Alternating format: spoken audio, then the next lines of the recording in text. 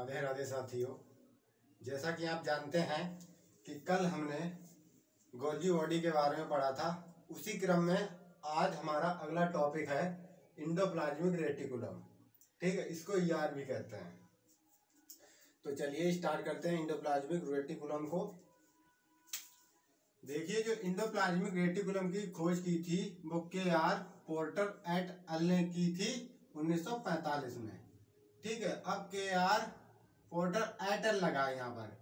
Eight L से मतलब है कि पोर्टर के अलावा यहाँ पर और भी लोग रहे होंगे इनके साथ में, जिन्होंने भी इनका सहयोग किया होगा।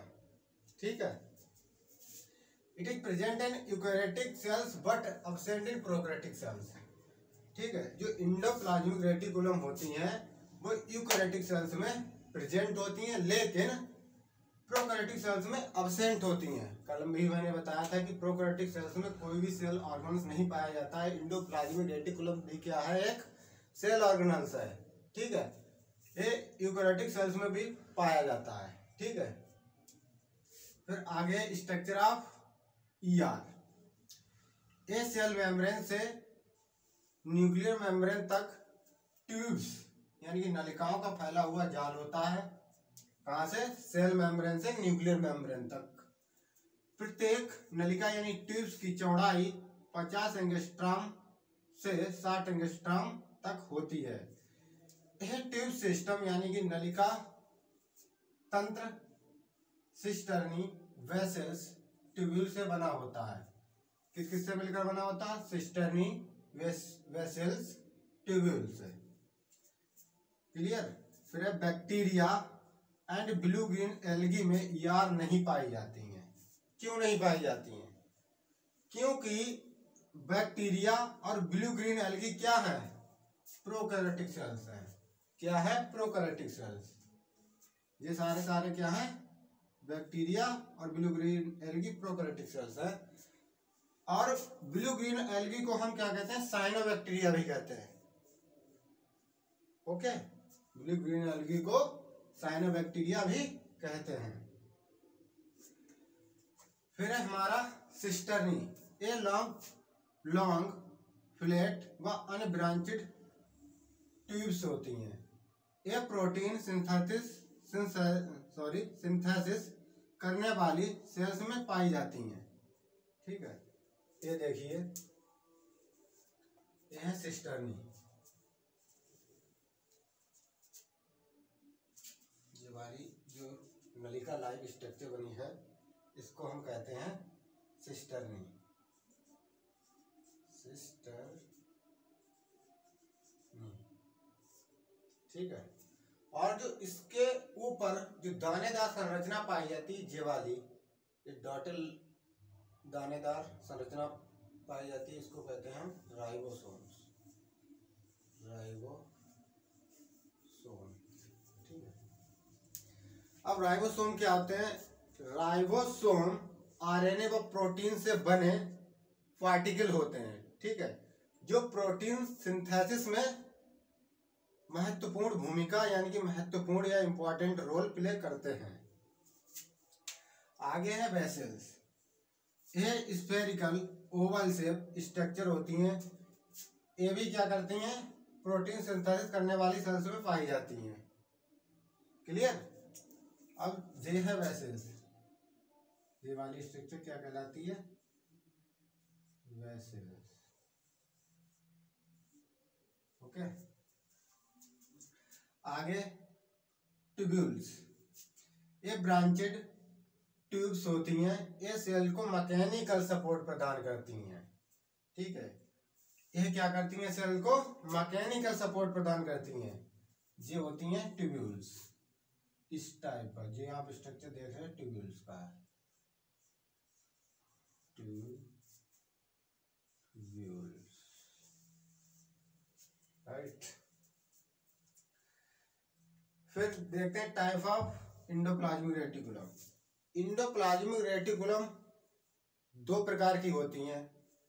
रफ इंडोप्लाज्मिक रेटिकुलम और smooth endoplasmic reticulum smooth endoplasmic reticulum क्या होती है? इनकी सरफेस पर राइबोसोम्स पाए जाते हैं।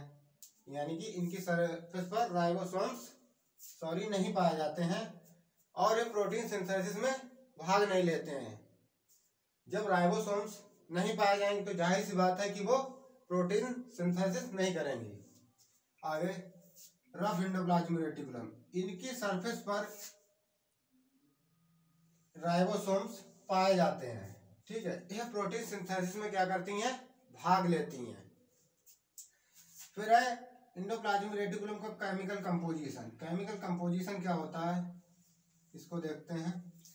इंडोप्लाज्मिक रेटिकुलम में 30 से 50 परसेंट प्रोटीन 70 परसेंट फास्फोलिपिड पाई जाती है। ठीक है 70 परसेंट क्या पाई जाती है?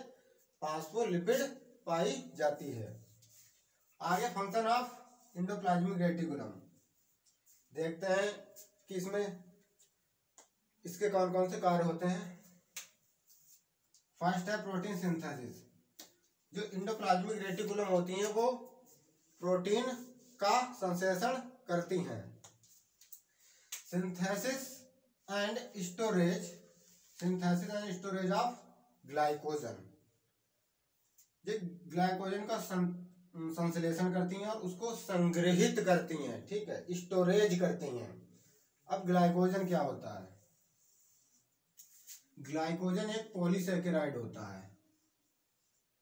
पॉलीसेकेराइड होता है, ठीक है? पॉलीसेकेराइड होता है। जो एनिमल्स में एनर्जी के रूप में स्टोरेज होता है ठीक है? आगे मैकेनिकल सपोर्ट जो इंडोप्लाज्मिक रेटिकुलम यानी कि ईआर e होती हैं, वो सेल्स को मैकेनिकल सपोर्ट प्रोवाइड कराती हैं। एक्सचेंज ऑफ़ मटेरियल्स जो सेल्स के अंदर मटेरियल पाया जाता है, उसका ये एक्सचेंज करती हैं, यानी कि विनिमय करती हैं। अगला है इंटासेलुलर ट्रांसपोर्ट ये सेल्स के अंदर इंटासेलुलर ट्रांसपोर्ट से मतलब है कि जो सेल के अंदर मटेरियल पाया जाता है, उसका ये ट्रांसपोर्ट करती हैं। फिर है detoxification of endogenous and exogenous substance detoxification से तात्पर्य है कि इसमें जो मतलब सेल्स में विषैले सब्सटेंस पाए जाते हैं, उनका ये शुद्धिकरण करती है, ठीक है? उनको विष रहित बनाती है। फिर formation of other membranous structure of cells ठीक है?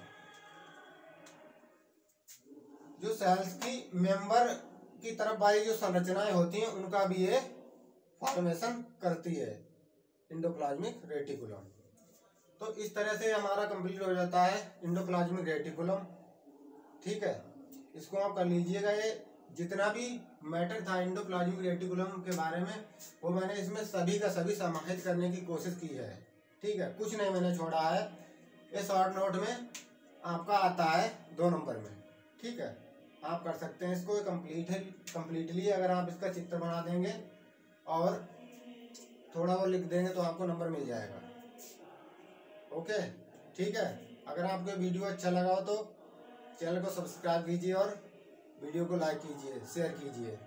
धन्यवाद आपका समय सुनो। राधे राधे